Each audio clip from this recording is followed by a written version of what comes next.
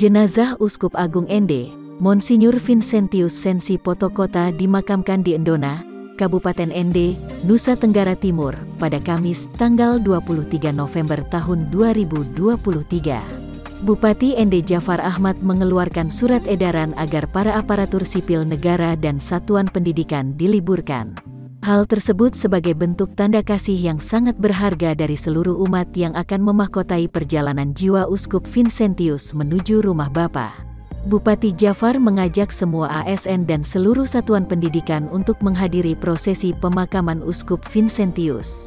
Diketahui, Uskup Vincentius meninggal di rumah sakit Set. Karolus Jakarta pada Minggu, tanggal 19 November tahun 2023, karena sakit.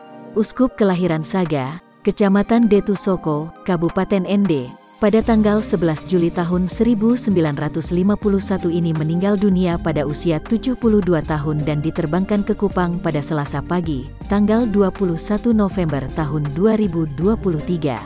Setibanya di Kupang, Jenazah lalu disemayamkan di Gereja Katolik Santo Yosef Pekerja Penfui untuk dilakukan misa arwah yang dipimpin Uskup Agung Kupang Monsinyur Petrus Turang sebelum akhirnya diterbangkan menuju Ende. Adapun Uskup Vincentius ditahbiskan menjadi imam pada tanggal 11 Mei tahun 1980, karya imamatnya terus berkembang. Pada tanggal 14 Desember tahun 2005, ia terpilih menjadi uskup di Keuskupan Maumere, bersamaan dengan pendirian Keuskupan Maumere yang mekar dari Keuskupan Agung Ende.